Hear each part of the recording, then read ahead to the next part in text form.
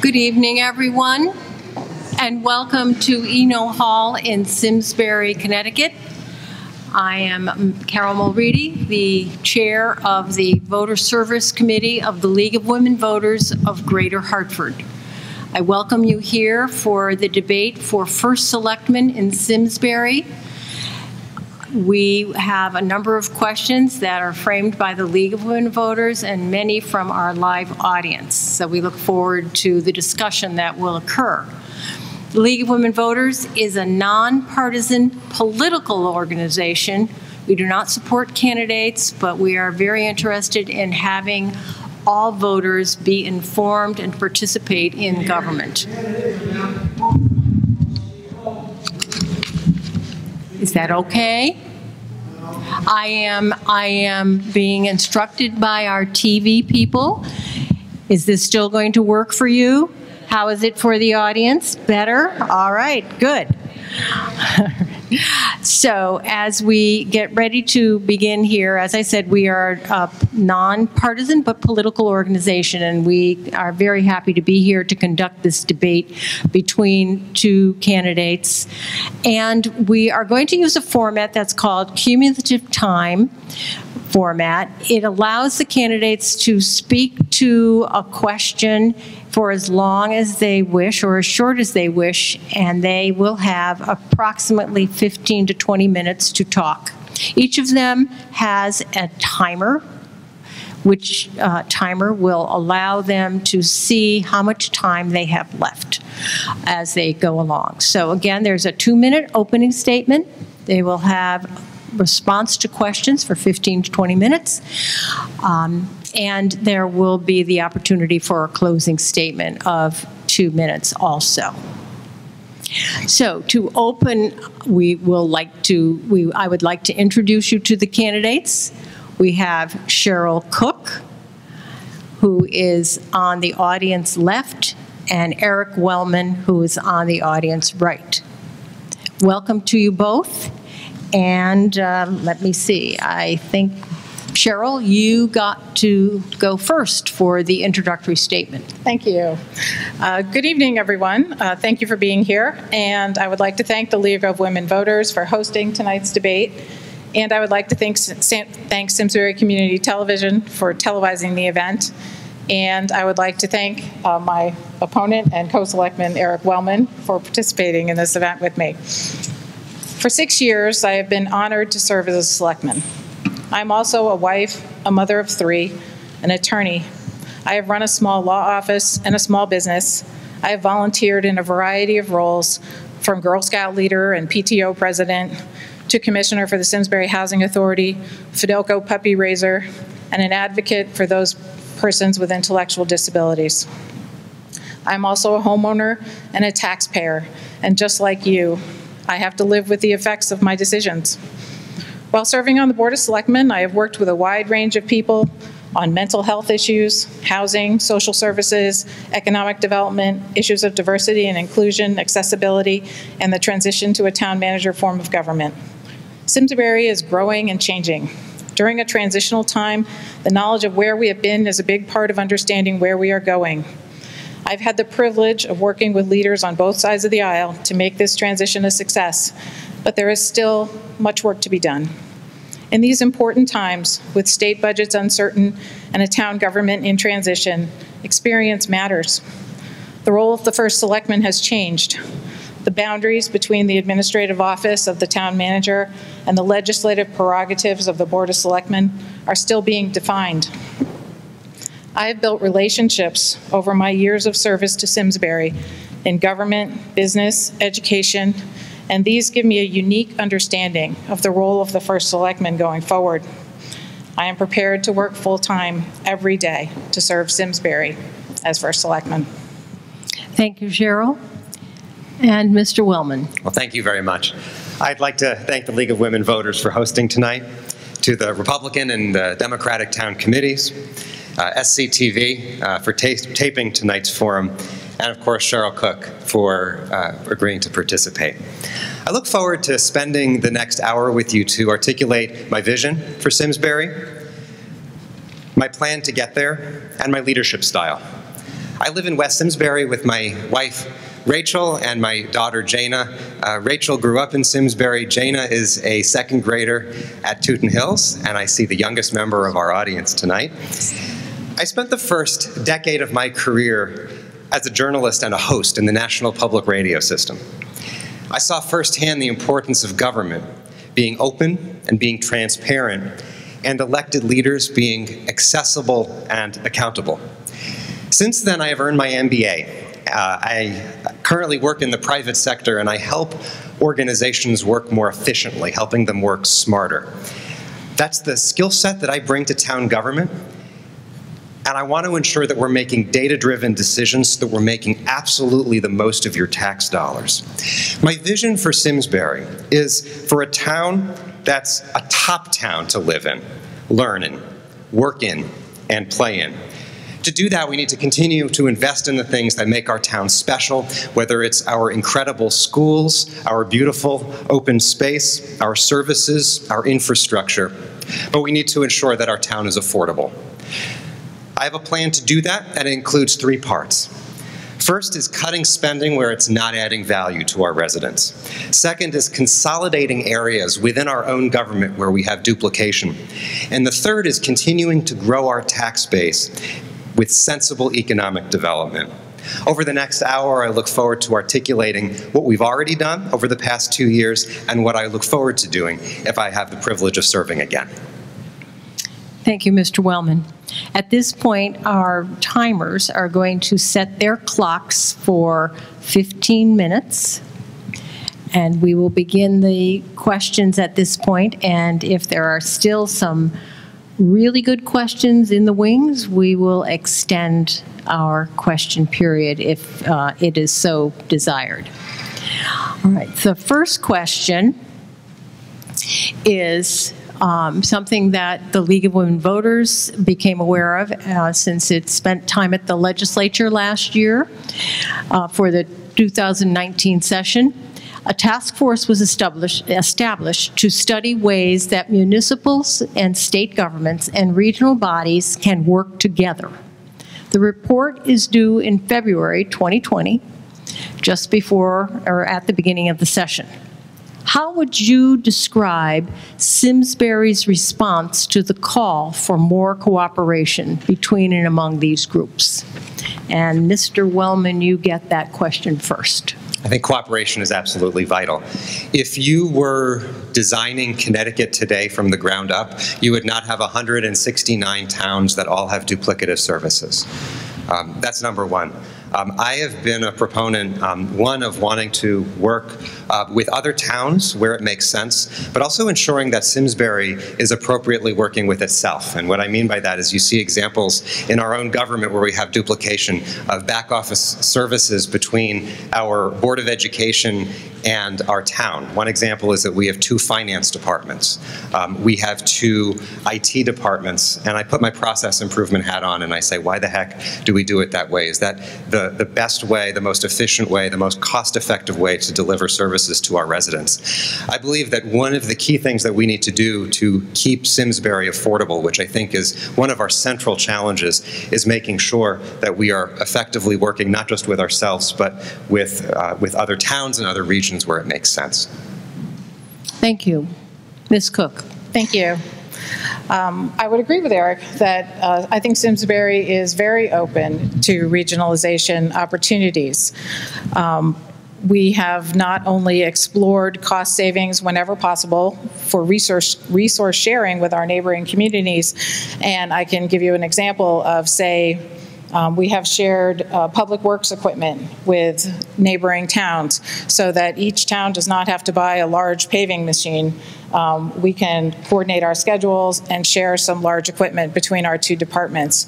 Um, even small measures like that really help our budget you know, to save money, and it helps build relationships with the towns around us over the course of, of my terms on the Board of Selectmen, we have switched to, say, electronic meeting materials, cutting down our, our waste um, with too much paper being produced for meetings, using community partners and volunteers where we can, and accessing more grants for projects.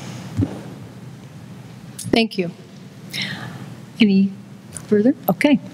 The next question goes to Ms. Cook first. What would your economic development policy look like? Is there any big opportunity in Simsbury that you could address? I think we have lots of opportunities in Simsbury. Um, I have worked on the new Economic Development Commission, and Eric and I have both served as a working committee for that new group. And I think the key to our economic development is balancing our resource challenges and ensuring Simsbury's long-term viability. Um, for example, the expansion at Ensign Bickford is, a key example of how experience and knowing the right programs and opportunities, we were able to leverage a great incentive for EB's growth and at the same time guarantee, guaranteeing new and high-paying jobs for Simsbury. And I will make it a priority as first selectman to personally work with our businesses to improve relationships with our existing businesses and our property owners to make sure that their goals are met and to respond to their issues. Okay, Mr. Wellman. Sure. When, when we think about the purpose of economic development, um, one, it's something that enhances the quality of life in our community. It's also, I believe, one of the key ways in which that we keep our taxes in check. Uh, Connecticut is uh, really limited in terms of the opportunities that towns have uh, to, to tax their residents. We're far more reliant on the property tax uh, than uh, towns in other states, and there are um, more equitable ways to do it. Uh, but in Connecticut, we have the property tax, which means that if we are going to keep taxes in check, it means we have to continue to grow. Um, I think, uh, as uh, my colleague mentioned, Ensign Bickford is a phenomenal example where they're investing $10 million in that facility, and we worked um, hand in hand to make sure that they didn't pick a site in Colorado, that they didn't pick a site in California, that they picked Simsbury, and they understood the value in that.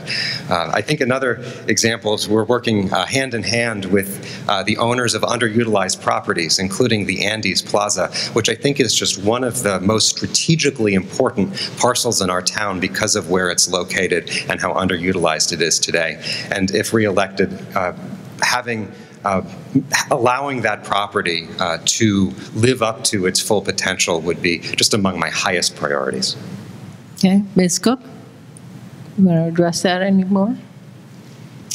Well, I think that um, while I agree that Andes is certainly an un underutilized property, um, what will make it a viable part of our downtown again is working with the owners to find a solution that works for them.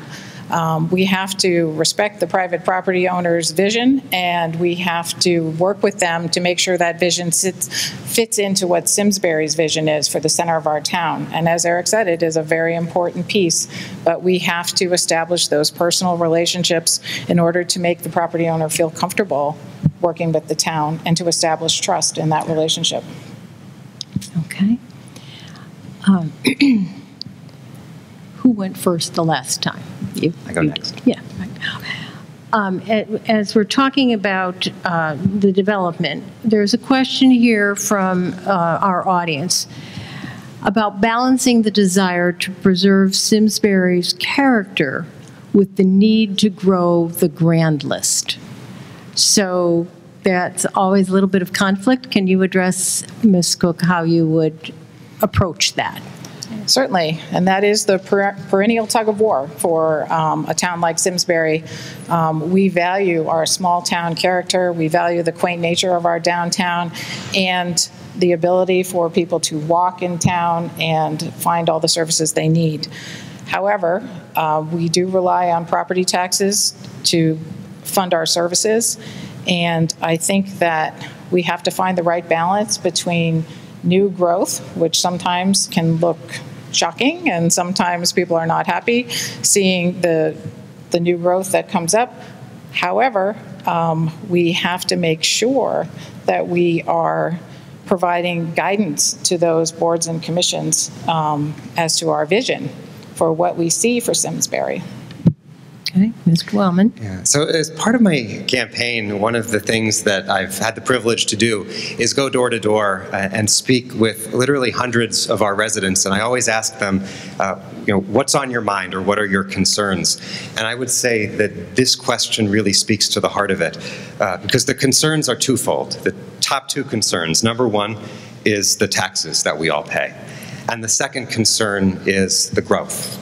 And it's just so interesting to me because those two things are diametrically opposed. We grow, which allows us to keep taxes in check. But I think our opportunity and our responsibility is how do we grow in a way that maintains what makes Simsbury special so that we're being proactive about maintaining those sight lines of Talcott Ridge, the beautiful barns on the north side of town where I see people take beautiful pictures at sunset, uh, the farms that make our community so special. You know, when I think about the apartments, and I think it's really the apartments that people are responding to, apartments are a living format. If you speak to any of the developers, they will tell you they are very much in demand right now.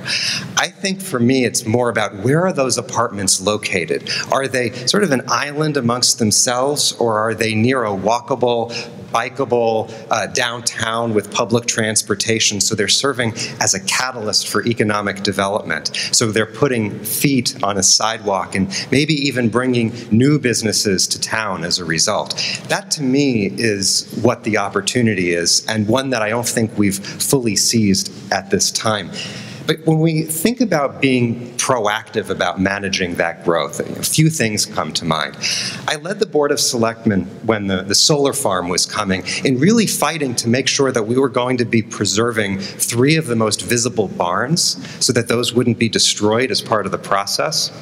We're also in the process of making changes through our zoning code to make it easier for farms to diversify their sources of revenue. And myself and I know other members of the Board of Selectmen are always very open to opportunities to strategically acquire open space parcels where it makes sense so that we preserve those beautiful vistas. It's just so important. Okay, Ms. Cook. Thank you. Um, I, I, was there at the beginning of the solar farm controversy. And um, one of the great things about Simsbury is when people feel strongly about something, they come out and tell you. And we filled this hall with discussion regarding that solar farm. And there are two sides to every story. On number one, we like to encourage renewable energy wherever we can.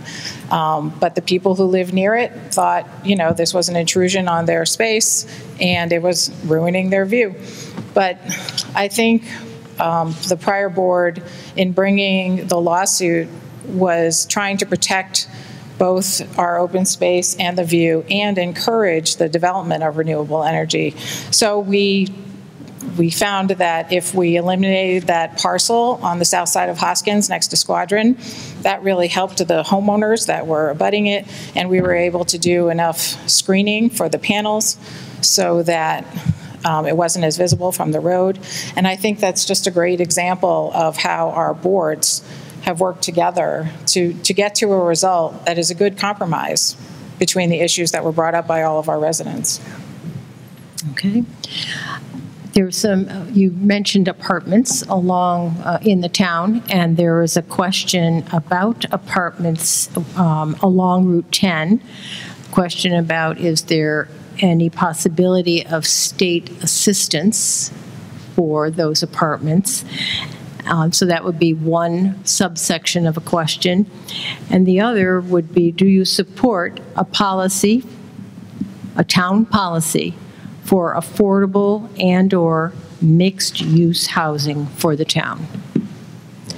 I think when we uh, when we talk about affordable housing, I think it it can often get confused with the uh, affordable housing by statute, where uh, developers are able to uh, come in, build denser housing than would otherwise be allowed, like is being proposed on Climax Road.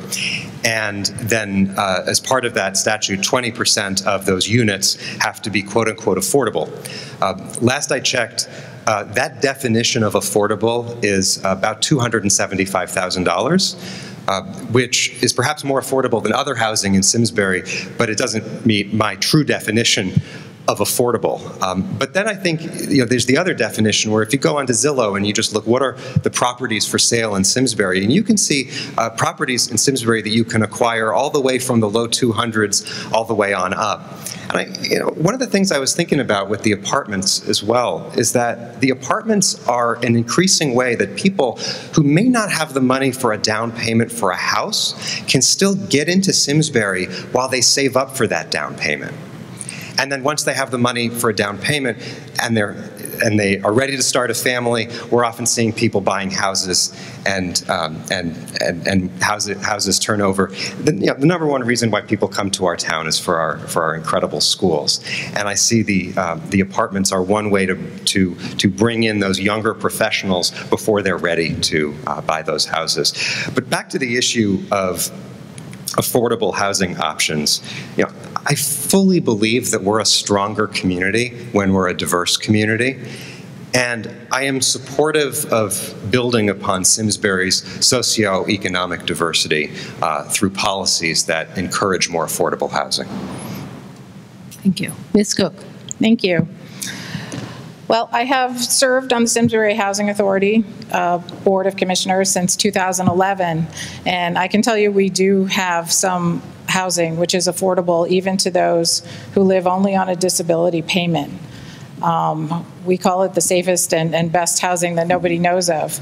We also have independent living units at the Owen Murphy Apartments that are available for really minimal rent um, with state assistance to people who are eligible.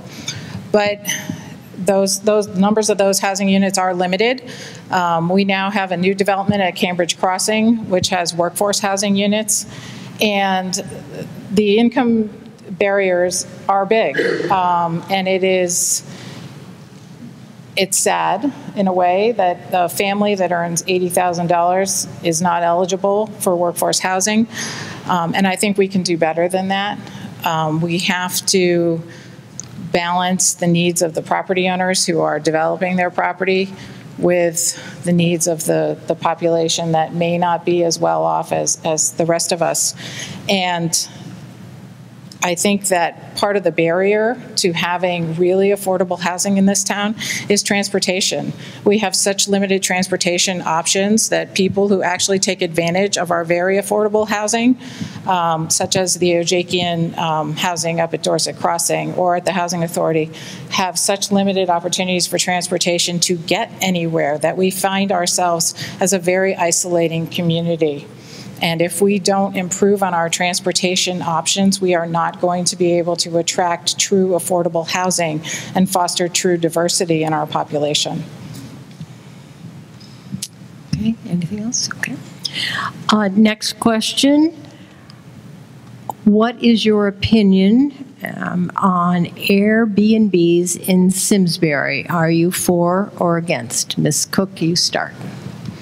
I don't think that's really um, a fair question of for or against. I think we have had very successful Airbnb rentals here in Simsbury. We have had some that have had incidents where uh, neighbors have been disturbed, and I understand that. Um, again, we have to balance the needs of the neighborhood with the needs of people to perhaps generate extra income by renting out a room for the occasional stay.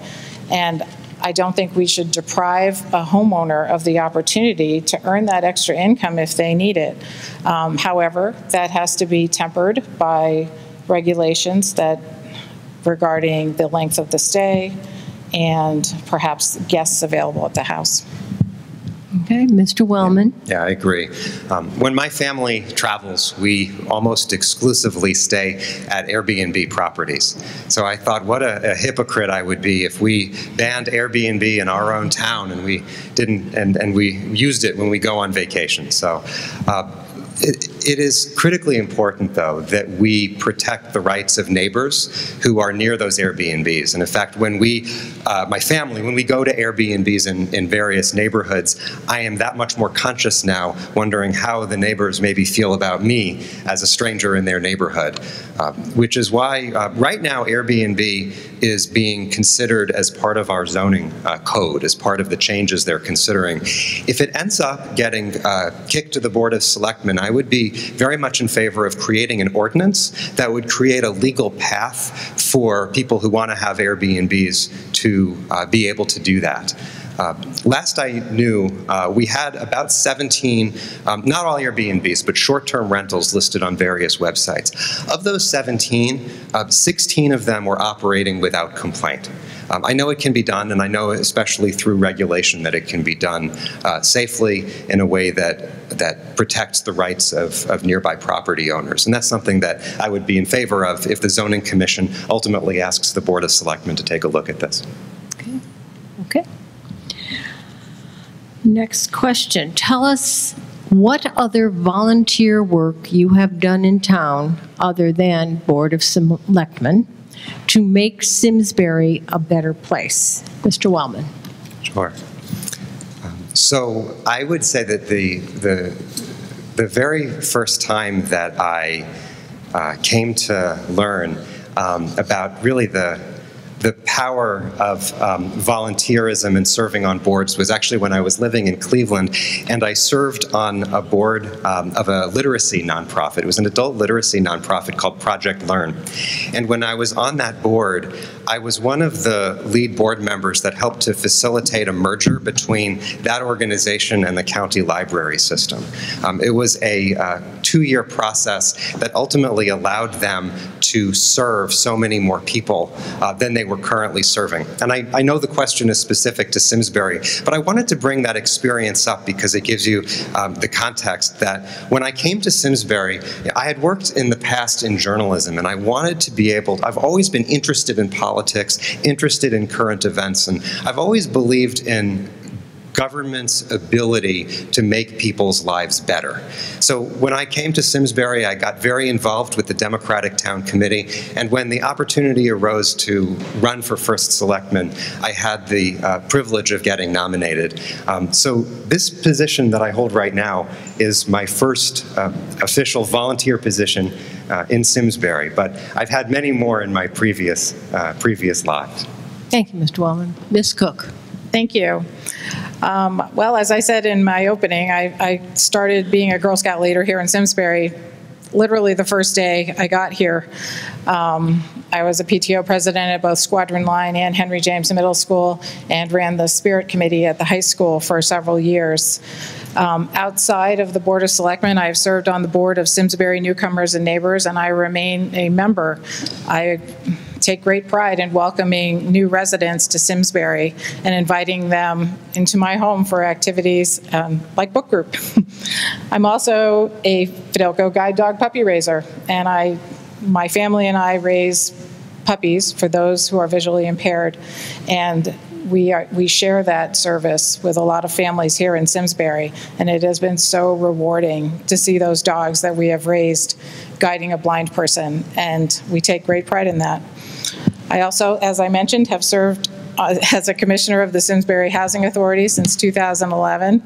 And for the past, I would say 20-something years, I'm not exactly sure anymore, I serve on the Human Rights Commission for the State Department of Developmental Disabilities.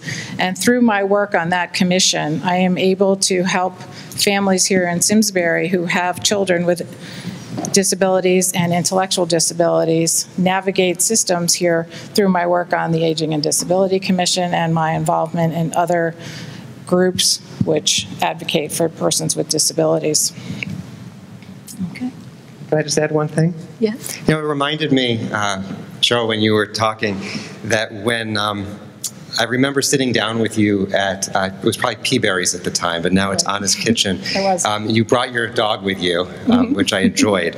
Um, I made a, a point to want to sit down with all five members of the Board of Selectmen, um, other than myself, to have coffee and get to better know uh, your interests and the other ways that you've been involved. It was really important to me. So the, the first selectman in the town charter actually only has two defined powers specifically. Um, one is that they preside over the Board of Selectmen meetings. The other is that they uh, give out liaison and subcommittee assignments. And it was really important to me at the time that we not give out subcommittee and liaison assignments in a way that is partisan. For example, giving the good assignments to one party um, or the other. So I wanted to learn about all those various opportunities so that we were aligning uh, your interests, all of the selectmen's interests on the board, um, with their expertise and the things that they're interested in, uh, so that the um, so that their uh, subcommittee assignments made sense. Um, and I think I think that we've done that successfully, and it it set, I, I hope, a, a, good tone uh, to start uh, my tenure. Um, really wanting to work in a in a nonpartisan, bipartisan fashion. Okay, thank you. Okay. Um, do you support an, ordin an ordinance restricting the feeding of wild animals in in Simsbury? If not, why not? And what are your proposal, uh, proposals to manage this growing problem? And that goes to you, Ms. Cook. Thank you. Well, I already know who put in that question. Thank you, Melissa. Um, but um, when Melissa came to the Board of Selectmen and told us the story, the tragic story of of her dog and the coyotes. Um, the very next day, I went out to the neighborhood involved and, and went house to house and, and talked to the residents. And I went to the police department and got copies of the police reports to see exactly what was going on. I talked to the police officers about what they could do, and they explained to me, you know, the different measures they had taken to to try to encourage the people who are feeding wildlife to stop. Um, and what I learned was that um, while there, there are some people who insist on feeding wildlife to the detriment of their neighbors, um, despite being warned by the police multiple times, um, they are not going to stop. Um, we can make an ordinance that says that we prohibit the intentional feeding of wildlife in any form. Um, however, I'm, I'm not sure that would exactly solve the problem but um, people with bird feeders, I think, would have to adjust their bird feeding habits first. Um, but I think we can fashion it in a way so that if somebody who is doing that is causing an extreme public nuisance, and by that I mean, you know, actual visible signs of wildlife and extreme behavior, then perhaps we can find a way to do that. And I know the Board of Selectmen is going to have a subcommittee discuss that with our law enforcement officers to make sure that we do it in an effective way. Mr. Well. Yeah. So I appreciate that the question about wildlife was asked. Wildlife is an incredibly difficult topic for us locally because wildlife policy is managed at the state level. The tools that we have locally are far more limited. Uh, but I believe that we need to uh, we need to use the tools that we have. Um, so one of the things that, uh, that I did is I, uh, along with uh, Selectman uh, Sean Askham, uh, we met with Chief Boulter. We solicited his opinion. Uh, we, you know, Sean and I have been close to this because he chairs the Public Safety Subcommittee. And initially, there's a, um, a hesitance by our law enforcement community um, to want to move in this direction. Uh, so one of the things the Board of Selectmen did is we passed a non-binding resolution basically asking people during warmer months not to certainly intentionally feed wildlife, don't use bird feeders, don't put your trash out overnight. I think, though, that you know, the vast majority of residents in Simsbury, when a police officer comes to your door and asks you to do something or not to do something, they will comply. I think in some rare instances, uh, we need an ordinance, we need something with more teeth uh, that says, uh, you know, that, that allows us uh, to take action um, in an extreme situation, um, as Cheryl pointed out. Um, so that's something that I am uh, in favor of, and that work is, uh, is moving forward. Thank you. Um, there is a 350th anniversary of the founding of Simsbury to take place in 2020. There's been a lot of talk about the celebration. Please, please explain how you would like to see this special time celebrated. One of the And uh, that does go to you, Mr. Wellman. Yeah, thank you. Well, one of the uh, really you know special things about um, we formed uh, the, the 350th uh, celebration committee, um, which Cheryl chairs, and one of the really neat things about appointing people to this committee is it brings people uh, together who may not have otherwise worked together uh, from our you know the tourism industry, uh, the historical society uh, our hospitality industry, our performing arts center, and others. And one of the biggest opportunities I've observed as first selectman is there is so much amazing work happening in our community, but it is often disconnected. And I think our opportunity excuse me, our opportunity in celebrating the 350th and forming this committee to plan a year's worth of, of, celebration is bringing these people together and hopefully forming new relationships that are going to, I don't know if they're going to last another 350 years, but certainly beyond 2020. Ms. Cook. Thank you. Well, as, as Eric said, I am the chairperson of Simsbury's 350th celebration, and there is not enough time for me to tell you all the things that are going on for the 350th. But, but what I would like to stress, um, similar to Eric, is that in, in starting this committee and in bringing all these people together, um, what we had hoped was, would happen is that people would share their talents and share their interests, and that has been what happened. Um, for instance, we've had our theatrical groups um, have written a play especially, for, you know, it's our town for Simsbury. And we are so looking forward to having that performed for the town. Um, we have historical tours of the um, historic cemetery in the center of town. Um, we're going to get a preview this weekend, but um, that is going to be expanded for the 350th celebration. Um, we are opening the new park down at the Flower Bridge, and with that, we are inviting people to come and share their experiences, such as celebrating the 100th anniversary of women's suffrage, um, and we are going to have have a group come in and, and celebrate that event along with our 350th as just a testament to how much history Simsbury has, has lived through. Um, for River Day, we are going to celebrate our heritage on the river. And we are going to start at the Pinchot Sycamore with um, canoes and kayaks and all sorts of watercraft. And then we're going to have a Huck Finn raft race where we are encouraging all the, the Boy Scout troops have all been involved and they are terrific. Um, build a raft. You only need one adult on the raft to enter, and sail down to Curtis Park, where we will have a Native American village set up with Native American crafts and other types of historical Native American um, plays and uh, scenarios set up for both children and adults to, to learn about our history with the Native Americans here in Simsbury and to, to look forward to you know, we have a very dynamic future to look forward to. And part of what we're trying to do is celebrate that historic past, celebrate the talents of the people that are here now, and to look forward to a dynamic future where Simsbury only gets better. Okay, and is there anything you will specifically contribute, Ms. Cook? I'm chairing the committee. Chairing the committee. I'm in charge of all those people right now. Okay. We are actually taking volunteers online, and um, I have just invited lots of them to a big meeting next week. Okay, Mr. Wellman. Great, and I'm, I'm in the process of, uh, of uh, trying to, uh, you know, reaching out to our, our governor and uh, asking him to attend our uh, opening ceremony, which is, um, I believe, next May at First Church, and uh, Cheryl and I co-signed that letter, and and you know we we would be honored to have his presence. Um, and I just look forward to celebrating with the residents of, of Simsbury during this just you know tremendous anniversary. Thank you what is the very first thing you will do when you are elected to the office?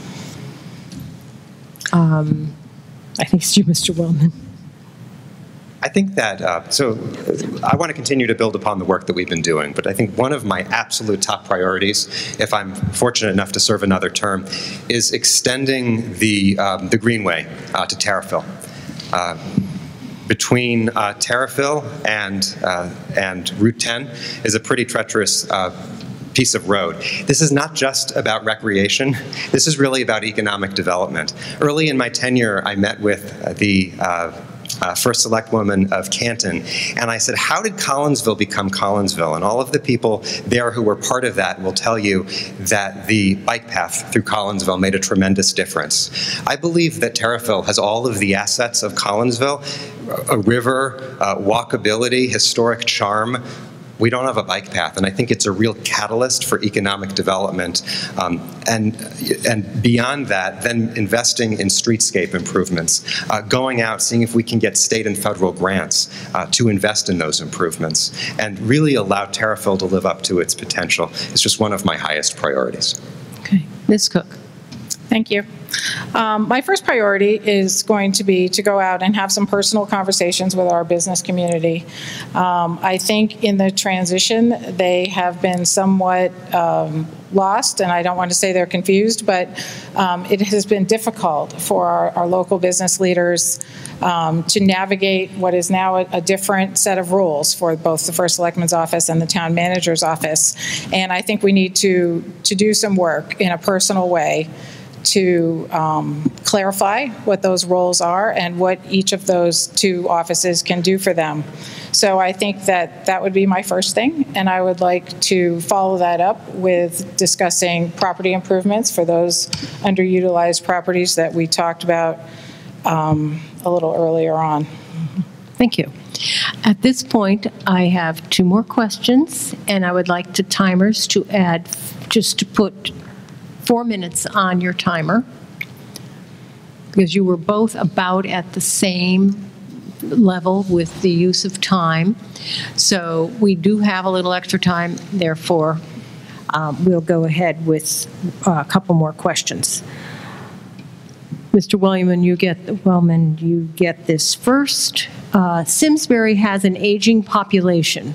What can our local government do to make life easier for seniors who want to stay in their homes? Is that my question? You're first. Okay, great. You, know, you ask a, a, parent of any school age child if they understand the value of the taxes they pay, and they do, because we have just some of the best schools in the country.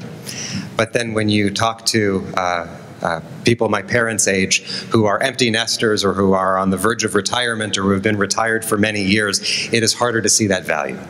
And I think that we need to continue to invest in things that make Simsbury worth living in even after your children have left the house. And just some of those examples include, you know, connecting Simsbury, uh, the center of Simsbury to the river, the Farmington River, uh, through the new park at the Flower Bridge.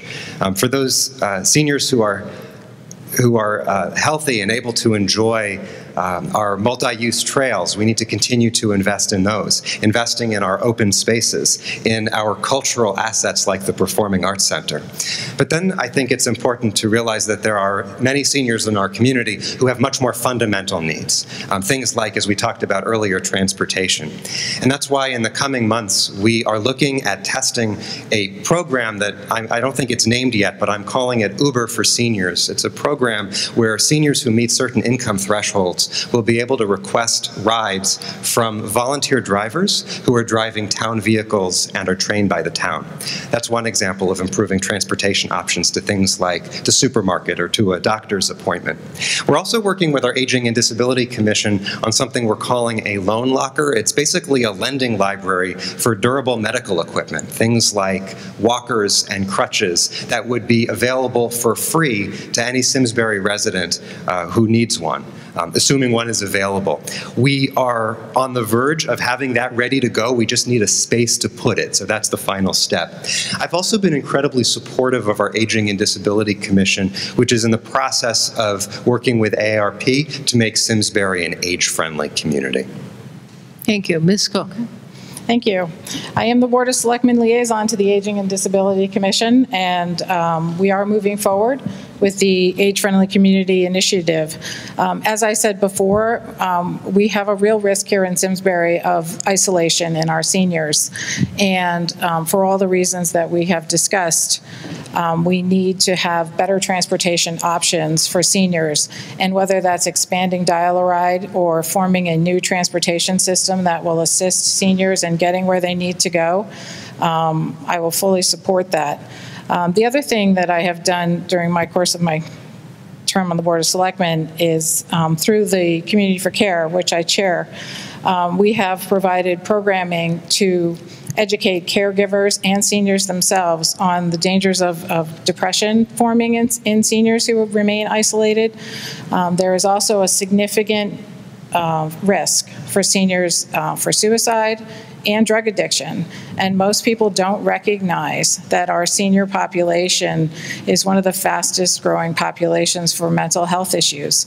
And through the Community for Care, we have try, been trying to provide programming um, to help seniors and their caregivers because the caregivers also become isolated in that caregiving function and we need to be able to support them. And through our social services department, we have been working on programs and outreach to try to to contact those caregivers and those seniors to make sure that they're getting um, regular contact just from from other people, um, whether it's our Books to Home program at the library or an occasional phone call, just to make sure you're okay. Um, there's a lot of ways we can reach out um, to help our senior population not be at risk for all those very bad things that might happen. But as I said, we need to start with transportation. Thank you. Final question, and this will go to um, Ms. Cook 1st mm -hmm. What plans, if any, do you have to make Simsbury a sustainable, energy efficient, and clean energy town? Thank you.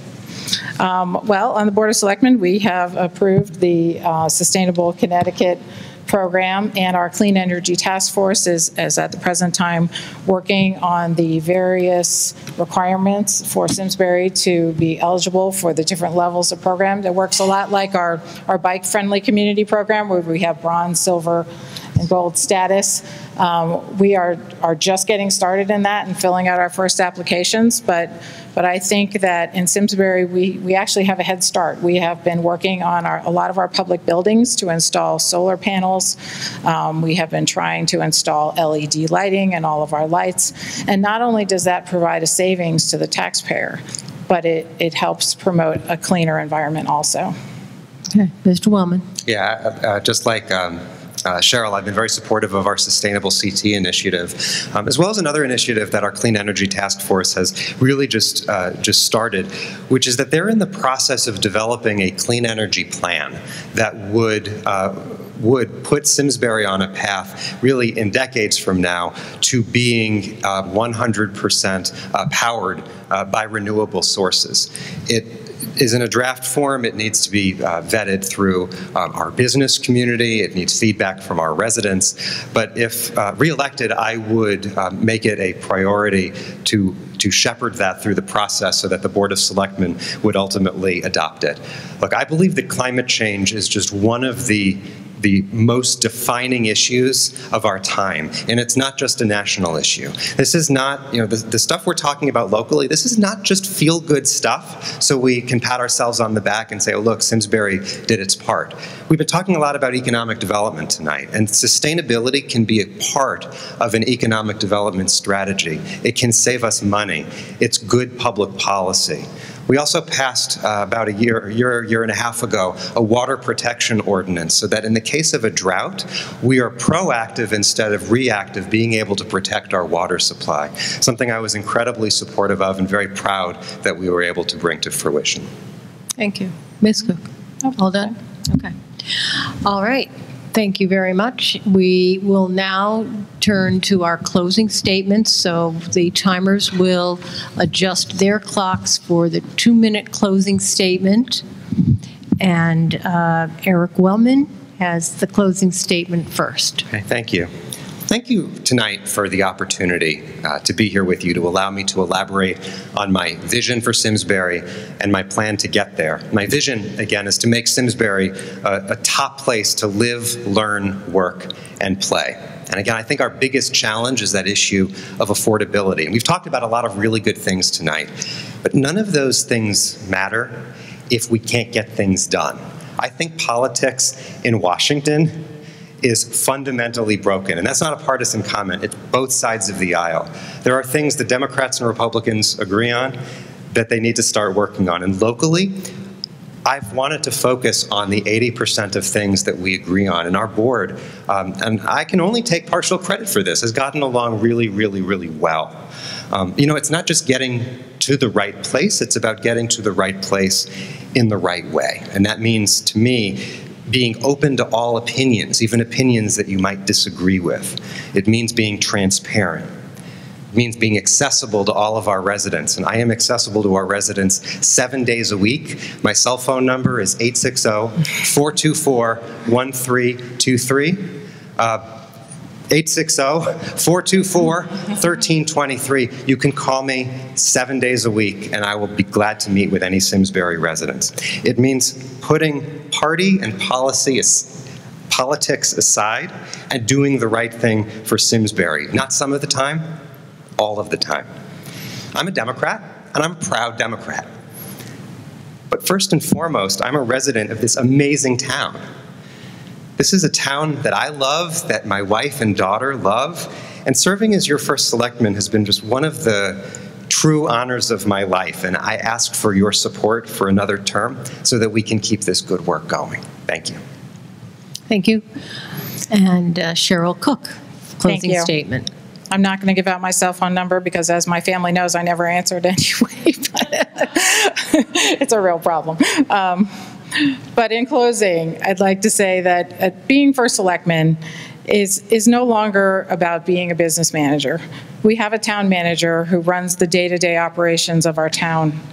It is about using experience learned in local government, in Simsbury, in our schools, in our meetings with people from all different backgrounds and political persuasions to move policy forward. And I think we've done a good job of that, you know, as a board. Um, I've been on a 3-3 board most of my time serving, and we have gotten a lot done. And it is about relationships with people and taking the time to listen it is about effectively leading the Board of Selectmen, being transparent with the public and with my fellow selectmen, working effectively with the other boards and commissions, and using that hard-won experience to lead Simsbury forward. And I'm asking for your vote on November 5th so I can have that opportunity. Thank you very much, and the audience may now applaud.